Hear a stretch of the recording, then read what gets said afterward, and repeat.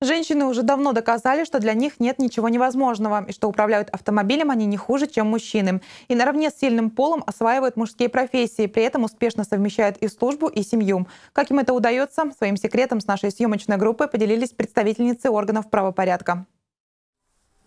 Ни одно расследование не обходится без криминалистов-экспертов. Как преступник попал в квартиру, а иногда и как его зовут, могут рассказать криминалисты лишь по отпечатку следов рук. В предпраздничный день Светлана Рудская вновь на посту. Произошла кража. Преступник втерся в доверие к пенсионерам, а после его визита пропал мобильный телефон. Преступник, предполагаемый, выходил на балкон и трогал, предположительно, там, курил, трогал вещи на балконе. Поэтому вот мы просматриваем примерно, что он мог трогать, когда заходил на балкон, примерно его просчитываем рост, на каком мог прикасаться к двери. В арсенале эксперта множество кистей, порошков и пленок. И все это только для изъятия следов рук. Чаще всего основной уликой на месте преступления являются следы рук. Сегодня дактилоскопирование решила пройти и я. Ну, как начинаем? Давайте мне правую руку. Руку расслабляйте.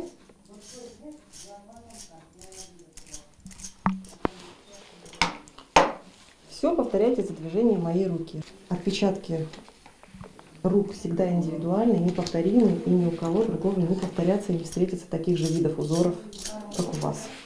Но профессия эксперта не всегда работа с инструментами и следами преступления. Иногда приходится работать и с трупами. Если обнаружили труп, то будь то мужчина или женщина выезжает, проводит фотографирование, осматривает труп вместе с судебным медицинским экспертом. Также дактилоскопируем труп уже в морге в самом.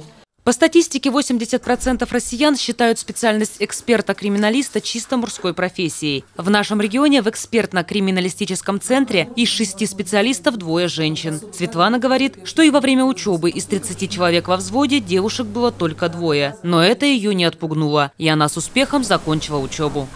Я когда поступала в институт, я точно не понимала, чем я буду заниматься. Именно, что я буду проводить экспертизы. Я хотела работать в милиции. А потом уже на курсе втором-третьем я поняла, что да, я хочу заниматься этой работой. У нас очень хорошая работа в том плане, что она совмещает как работу кабинетную, ты можешь посидеть спокойно, подумать, изучать литературу, заниматься практической деятельностью, так и работу по выездам.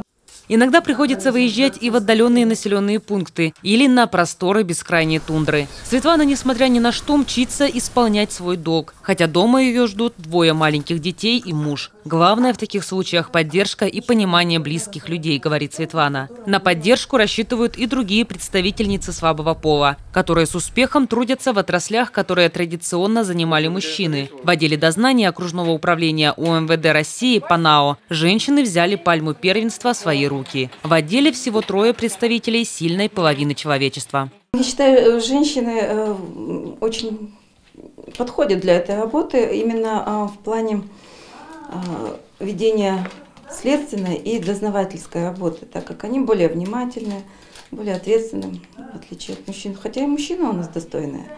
Вот. Но я считаю, она не мешает э, оставаться и женщиной, и семьей заниматься.